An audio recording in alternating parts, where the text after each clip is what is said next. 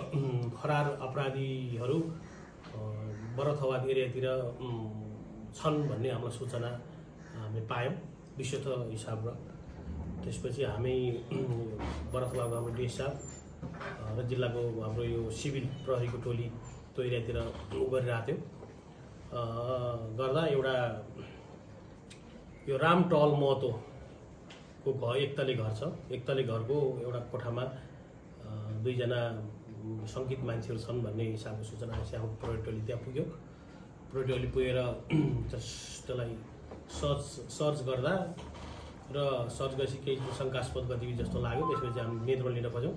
नियन्त्रण लिन खोज्दा जितेन्द्र राउत पटेल पछि खुल्न आएअनुसार जितेन्द्र राउत पटेल चौबिस वर्षकोले चाहिँ एक राउन्ड नाइन एमएम एक राउन्ड हामीलाई फायर गर्यो। त्यसपछि हाम्रो टोलीले डिएसआफ सबै हाम्रो टोलीले। त्यसलाई तुरन्त नियन्त्रणमा लिएर हामीले दुईजनालाई अमेरिकन नाइन एमएम पेस्तोल अमेरिकन पेस्तोल छ राउन्ड गोली त्यहाँ उसले प्रयोग गरेको त्यो प्रकाशित खोका र दुईजना व्यक्तिलाई लिएर हामीले बरथवा इलाका प्रहरी कार्यालयमा आयौँ।